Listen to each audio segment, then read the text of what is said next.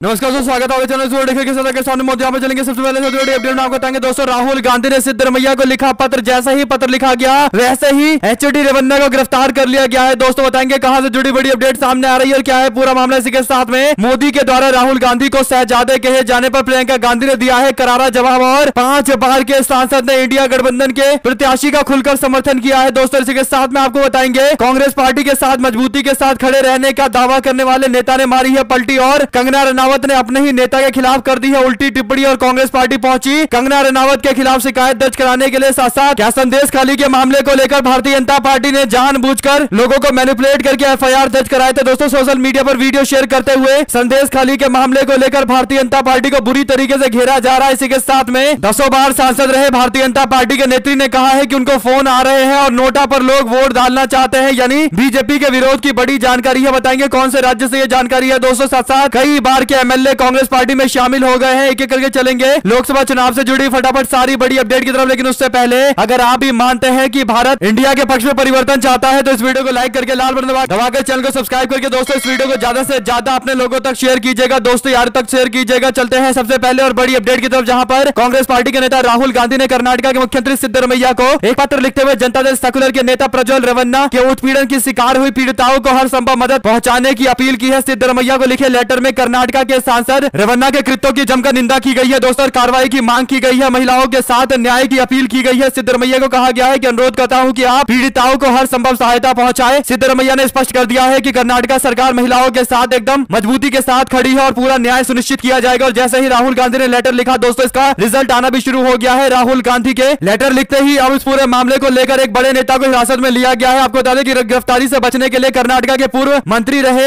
H D Revanna ने अग्रिम जमानत याचिका कोर्ट में दाखिल कर दी थी। इसे आज शाम को खारिज कर दिया गया है। दोस्तों इसके बाद एच डी रवन्ना को पुलिस ने गिरफ़्तार कर लिया है, हिरासत में ले लिया है। कोर्ट ने याचिका खारिज कर दी है। इसके बाद अब आगे की कार्रवाई की जा रही है। आपको बता दें कि एच डी रवन्ना, जो प्रज्वल रवन्ना का बाप है, उसे गिरफ़्तार कर लिया गया है। दोस्तों इसके साथ में और भी कठोर कार्रवाई की जाएगी। साथ साथ कैम्ब्रिज यूनिवर्सिटी से एम है राहुल गांधी रहने के लिए नहीं है अपना मकान। सोशल मीडिया पर राहुल गांधी के द्वारा अमेठी में एफिडेविट दिए जाने के बाद अब काफ़ी ज़्यादा चीज़ें ट्रेंड हो रही है। जो जानकारी राहुल गांधी ने अपने एफिडेविट में दी है, दोस्तों, उन्होंने बताया है कि कैम्ब्रिज यूनिवर्सिटी के ट्रिनिटी कॉलेज से उन्होंने एमफिल की डिग्री ले रखी है। इसके अलावा उन्होंने रॉलिंस कॉलेज फ्लोरिडा से आर्ट्स में ग्रेजुएशन की डिग्री प्राप्त कर रखी है। राहुल गांधी के खिलाफ देश भर में कुल मिलाकर 18 मामले दर्ज है। कांग्रेस नेता ने हलफनामे में अपने खिलाफ किसी भी अन्य आपराधिक मामले का ज़िक्र नहीं किया है। आप लोग जानते हैं कि ज़्यादातर मामले मानहानि से जुड़े हुए हैं। आरएसएस और बीजेपी के नेताओं को लेकर उनकी टिप्पणी के मामले पर ये मामले दर्ज किए गए हैं। दोस्तों के साथ में राहुल गांधी ने बताया है की उनकी कुल कमाई एक करोड़ दो लाख अठहत्तर हज़ार रूपए है। इसके साथ में और भी डिटेल में जानकारियाँ दी गई है, लेकिन बड़ी बात यह है कि उनके पास रहने के लिए घर नहीं है, अपना। और पिछले साल की कमाई को लेकर भी जानकारी दी गई है कुल मिलाकर दोस्तों। राहुल गांधी की एजुकेशन की बात करें तो जो डिग्री के बारे में उन्होंने बताया है, शायद भारतीय जनता पार्टी के नेताओं को सपने आएँगे क्योंकि कैम्ब्रिज यूनिवर्सिटी से एमफिल करना इतना आसान नहीं है। राहुल गांधी की एजुकेशन क्वालिफिकेशन को लेकर सवाल खड़े करने वाले लोगों के बारे में आपकी क्या राय है? दोस्तों, लिखकर ज़रूर बताएगा। राहुल गांधी को जिन शब्दों से संबोधित किया जाता है, उसके पीछे अच्छा खासा करोड़ों रुपए का प्रोजेक्ट काम कर रहा था, जिसके बाद उनकी छवि को धूमिल किया गया और अब जब हकीकत सामने आने लगी है, उनके एजुकेशन क्वालिफिकेशन को लेकर जानकारी सामने आने लगी है तो ऐसे सारे प्रोपोगेंडा एक साथ ध्वस्त होते दिखाई देने लगे हैं। साथ साथ प्रधानमंत्री नरेंद्र मोदी की ओर से राहुल गांधी को सहजादा कहे जाने के मामले को लेकर प्रियंका गांधी ने करारा जवाब दिया। उन्होंने कहा की वो मेरे भाई को सहजादा बोलते हैं, मैं उनको बताना चाहती हूँ, ये सहजादे चार हज़ार किलोमीटर का पैदल यात्रा करते हैं। कन्याकुमारी से कश्मीर तक आपकी समस्याएँ सुनते हैं, लोगों की समस्याएँ सुनते हैं, मेरे भाइयों, बहनों, किसानों, मजदूरों से मिलते हैं और सबसे प्यार से मिलकर पूछा जाता है कि तुम्हारे दिल में क्या है, तुम्हारी मुश्किलें क्या है, तुम्हारे जीवन में क्या समस्याएँ हैं? यानी राहुल गांधी को प्रधानमंत्री मोदी शहजादा बता रहे हैं, लेकिन राहुल गांधी चार हज़ार किलोमीटर पैदल चलते हैं। दोस्तों, प्रधानमंत्री मोदी और भाजपा के लोगों को बताना चाहिए कि कौन शहजादा देश के अंदर चार हज़ार किलोमीटर वो भी पैदल चलता है? यानी ऐसा लग रहा है कि बिना आधार के कोई सी भी बात बीजेपी के नेता बोल लेते हैं और वापस भाग जाते हैं इस पर और भी जवाब देने को तैयार नहीं होते। प्रियंका गांधी ने आगे कहा कि एक तरफ़ आपके सहनसा नरेंद्र मोदी है, महलों में रहते हैं। आपने कभी टीवी पर उनका चेहरा देखा है? एकदम साफ़ सुथरा सफ़ेद कुर्ता, एक भी दाग नहीं, धूल नहीं, एक बाल इधर से उधर नहीं होता, वो कैसे समझ पाएँगे आपकी मजदूरी, आपकी खेती? कैसे समझ पाएँगे आप किस दल दल में धसे हुए हैं? महँगाई से आप दब चुके हैं हर तरफ़ महँगाई। मेरी बहने मट्टी का तेल आज कितने का है? सवाल पूछा गया, सब्ज़ी खरीदने जाती हो, क्या मिलता है? किस भाव से सब्ज़ियाँ मिल रही है? ये सवाल लोगों से पूछे गए हैं। दोस्तों, प्रियंका गांधी जानती है कि किस तरीके से प्रोपोगेंडा वाली चीज़ों का करारा जवाब देना है। राहुल गांधी को शहजादा कहे जाने को लेकर ये करारा जवाब प्रियंका गांधी की ओर से दिया जा रहा है। सांसद बदायूं से पाँच बार सांसद रहे और पिछली बार भारतीय जनता जनता पार्टी को जितवाने में अहम भूमिका निभाने वाले सलीम शेरवानी को इंडिया गठबंधन अपने साथ लेकर आ गई है। दोस्तों नाराज़ सलीम शेरवानी अब पूरी तरीके से इंडिया गठबंधन को सपोर्ट कर रहे हैं। बदायूं से पाँच बार के सांसद रहे। सलीम शेरवानी ने कहा कि मैं सोच रहा था कि पाँच बार के बाद अब यहाँ से कोई मेरा बेटा आगे रिश्ता बढ़ाएगा और बदायूं के लोगों के साथ रिश्ता बनाकर रखेगा। इसके बाद उन्होंने कहा कि अब यहाँ से आदित्य यादव मुझे बेटे के तौर पर मिल गया है, यानी आगे की कार्रवाई वो करने वाले हैं। लोगों से रिश्ता इसी तरीके से बरकरार रहेगा। आपको बता दें कि 2019 के चुनाव में जब यादव परिवार के ही धर्मेंद्र यादव मैदान में बदायूं से उतरे थे तब उनको अठारह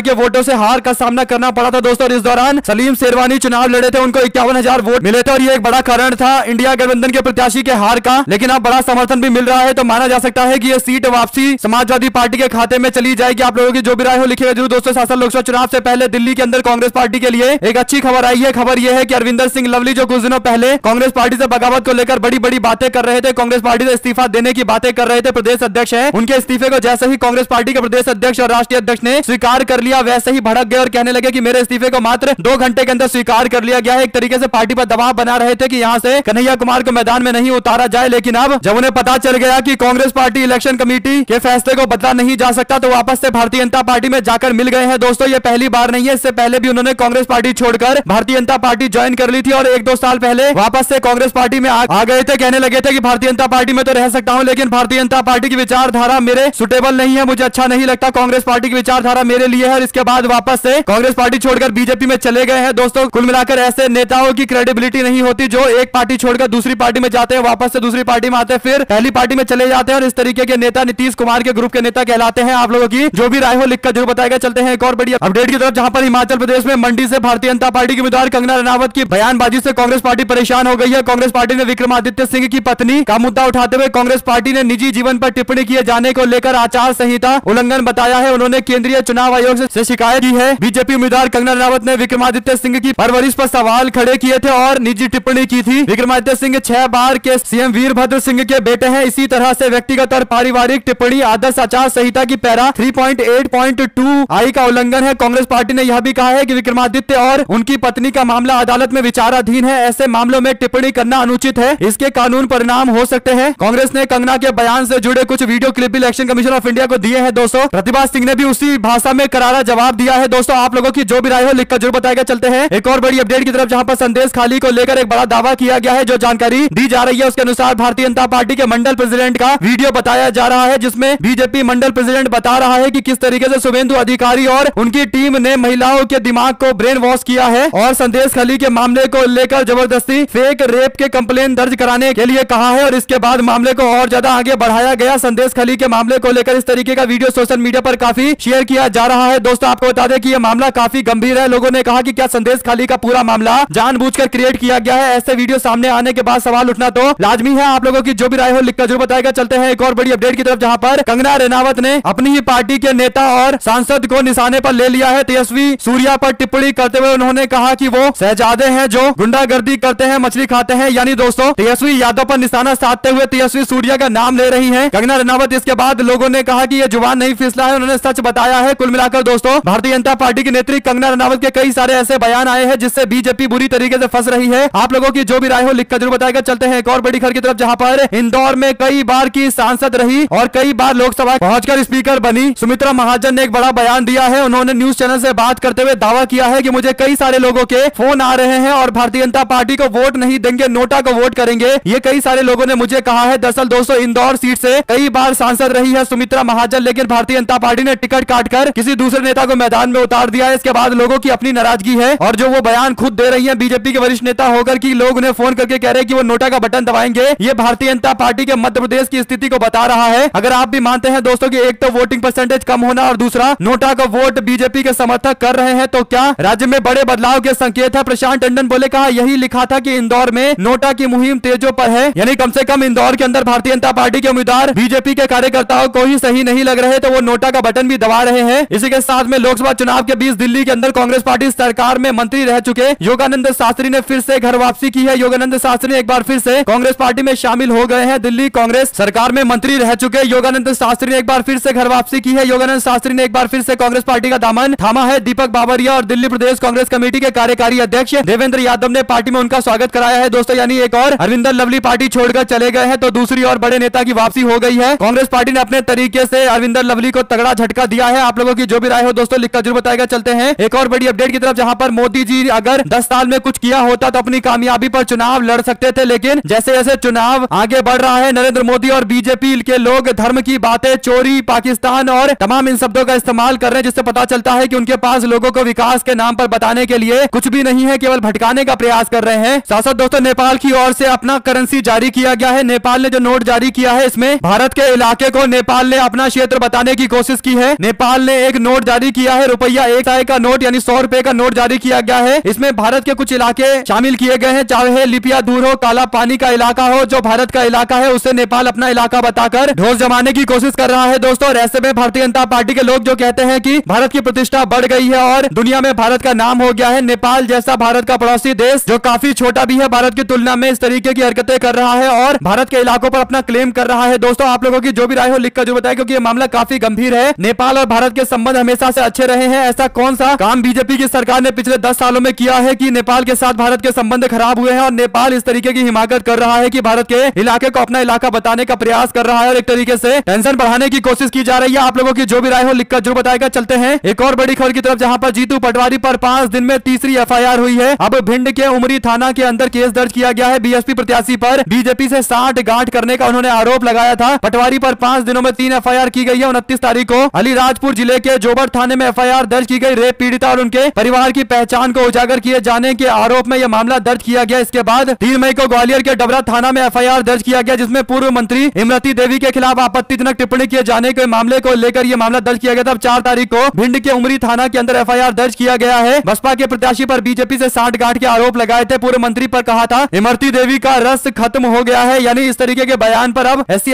एक्ट के तहत भी मामला दर्ज किया गया है। साथ साथ दोस्तों ऑल इंडिया तृणमूल कांग्रेस की नेत्री ममता बनर्जी ने कहा कि संदेश खली के मामले को लेकर जो वीडियो सर्कुलेट किया जा रहा है उससे पता चलता है कि ये पूरा मामला और ऑर्केस्ट्रेटेड था, यानी प्रायोजित मामला था। और संदेश खली के मामले को लेकर भारतीय जनता पार्टी पर ज़बरदस्त तरीके से हमलावर है ममता बनर्जी और पूरी की पूरी तृणमूल कांग्रेस। आप लोगों की जो भी राय हो, दोस्तों, लिखकर जो बताएगा साथ साथ बीजेपी ने खुद को पूरी दुनिया में सबसे धनवान पार्टी बना लिया है। एक रिपोर्ट के मुताबिक इन्होंने साठ हज़ार करोड़ रूपए खर्च किए हैं। आपको मज़बूत बनाने के लिए नहीं, बल्कि अपनी पार्टी को मज़बूत बनाने के लिए इन्होंने साठ हज़ार करोड़ रुपए खर्च किए हैं। प्रियंका गांधी की ओर से भाजपा के चंदे वाले स्कीम को लेकर भी सवाल उठाए गए हैं। साथ उत्तर प्रदेश सरकार के कैबिनेट मंत्री सुहेल देव, भारतीय समाज पार्टी के अध्यक्ष ओपी राजभर ने हमेशा अपनी विवादित टिप्पणियों को लेकर जाने जाते रहे इस बार उन्होंने मऊ ज़िले के घोसी लोकसभा चुनाव में प्रचार करने के दौरान अपने मंत्री पद की धौस दिखाते हुए नज़र आए हैं। यहाँ पर अपने कार्यकर्ताओं को संबोधित करते हुए ओपी राजभर ने घोसी में अपने बेटे अरविंद राजभर के चुनाव प्रचार के दौरान कहा कि मैंने बेशक बीजेपी से समझौता किया है, लेकिन जिस दिन घोसी की जनता के ऊपर आँच आएगी उस दिन सबसे पहले मैं इस्तीफा दे दूँगा। हम जो बात करते हैं, वो करते हैं। इसके बाद वह अपने बेटे का ज़िक्र करते हुए बोले, कहा, दिल्ली में जिसे लड़ना है, वह एक शेर का बच्चा है। शेर का बच्चा गीदड़ नहीं होगा, हमेशा शेर ही रहेगा। वह पीएचडी किए हुए है, जितने लोग लड़ रहे हैं, उनकी औकात नहीं है। यानी अपने बेटे की तारीफ़ करते हुए अन्य लोगों की औकात पूछ रहे हैं। घोसी लोकसभा सीट से बड़ा बेटा उनका चुनावी मैदान में उतरा हुआ है। दोस्तों, इस तरीके के बयान, इस तरीके के शब्दों का इस्तेमाल वो कर रहे हैं, जो काफ़ी आपत्तिजनक कहा जा सकता है। साथ आपको बता दें कि मायावती के संपर्क में है, स्वामी प्रसाद मौर्य हो सकती है उनकी घर वापसी। स्वामी प्रसाद मौर्य जो इससे पहले बीजेपी में गए थे, बीएसपी छोड़कर फिर बीजेपी छोड़कर मंत्री पद छोड़कर समाजवादी पार्टी में चले गए। असेंबली चुनाव में समाजवादी पार्टी ने मैदान में उतारा, लेकिन वो चुनाव हार गए। बाद में समाजवादी पार्टी छोड़कर अपनी पार्टी उन्होंने बनाई, शोषित, वंचित पार्टी, और अब वापस से बीएसपी में जाने की तैयारी कर रहे हैं। स्वामी प्रसाद मौर्य मायावती से मुलाकात कर सकते हैं। घर वापसी हो सकती है और आखिरी चरण में जिन सीटों पर चुनाव होने वाले हैं, वहाँ पर किसी एक सीट से उनको मैदान में उतारा जा सकता है। ये चर्चाएँ काफ़ी तेज है। दोस्तों साथ साथ ललन सिंह जो जेडीयू के नेता है और मुंगेर से प्रत्याशी है एक पब्लिक मीटिंग में लोगों को संबोधित करने के लिए पहुँचे थे। उनसे लोगों ने पूछा कि पिछले पाँच साल में आपने क्या काम किए हैं? कोरोना काल में आप हमारे बीच दिखाई नहीं दिया, वोट के लिए आ गए हैं। मुंगेर लोकसभा सीट पर तेरह तारीख को वोट डाले जाएँगे दोस्तों। और भारतीय जनता पार्टी के नेता अब ललन सिंह का जो विरोध कर रहे हैं, बीजेपी के कार्यकर्ता ने जो उनसे सवाल पूछे तो अपना हाथ छुड़ाकर तेज़ी से वहाँ निकल गए हैं, जो साफ़ इस बात के संकेत देता है दोस्तों की भारतीय जनता पार्टी, एनडीए, गठबंधन, कार्यकर्ताओं, नेताओं के बीच में समन्वय की स्थिति काफ़ी डामाडोल है। बीजेपी बेशक बड़े बड़े दावे कर ले लेकिन एनडीए गठबंधन के लोग आपस में एकजुट नहीं है। सबसे दोस्तों तेजस्वी यादव लगातार प्रचार प्रसार कर रहे हैं। बिहार में अचानक से प्रचार के दौरान उनको दर्द उठ गया जिसके कारण उनको अपनी एक रैली को भी रोकना पड़ा। लेकिन लोग कह रहे थे की तेजस्वी यादव अब पटना लौट जाएँगे और, और भी रैली नहीं करेंगे लेकिन ऐसा नहीं हुआ। जिस दिन उनको दर्द हुआ उसके अगले दिन ही बीते दिन उन्होंने लगभग पाँच सभाएँ की और अब आने वाले दिनों के अंदर टोटल मिलाकर उनके 120 के आसपास और भी सभाएँ होने वाली है। सारी विधानसभा में जा रहे हैं पार्टी के कार्यकर्ताओं को एकजुट कर रहे हैं मोबिलाइज कर रहे हैं और सुनिश्चित कर रहे हैं कि उनको ज़्यादा से ज़्यादा वोट वोट मिले। इंडिया गठबंधन का ज़्यादा से ज़्यादा उम्मीदवार जीत कर आए ऐसे में तेजस्वी यादव ने शनिवार को सोशल मीडिया प्लेटफॉर्म पर कहा कि महीनों से